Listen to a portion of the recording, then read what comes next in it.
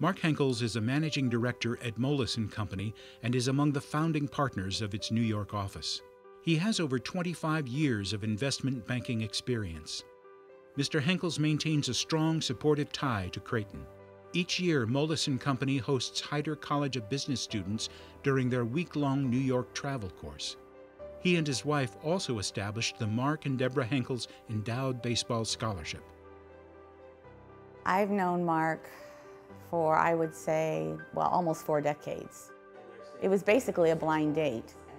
I gave him a call, and instead of responding, yes, I would like to go to the, the dance with you, he said, let me check my schedule, and hung up.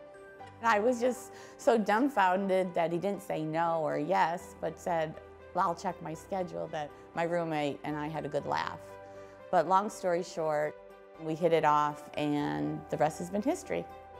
Mark comes across as a very down-to-earth gentleman. He uh, gets things done, but without fanfare, without putting himself forward per se. He really thinks about others in everything that he does, in his work, in his family, in the community. He is determined to do the best that he possibly can do in anything that he does. At work, he cares about his team. He works them hard. He has a very high bar that they have to reach, but he helps them achieve that reach. He's very compassionate of what's going on in the area, and um, he's done many things to show that compassion. Henkels, 23. Yeah. He recognizes the many gifts that he has been given and, and, how he has received them, whether it be through his family and his upbringing or through his education at Creighton, through his participation here at the parish. I think that everyday example of, of faith that, that, he shows is, um, I, I, think, something that influences me or, or something that I, I, respect. The exhilaration of victory. He's like the little bunny that just keeps on going.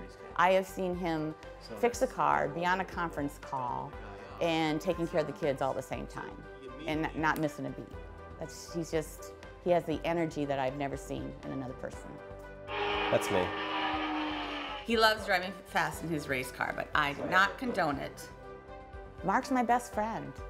He has been ever since Creighton, and I think he's made me a better person. Times when um, I didn't think I could do it, or I wasn't good enough. he gave me the strength. And um, I guess I always feel him beside me. No matter, you know, if he's on the other side of the world or he's at church lecturing at 745, because believe me, I don't always make 745 Mass, but I know he's with me. And um, it all started at Creighton. And I'm one happy lady, although it doesn't look like it right now.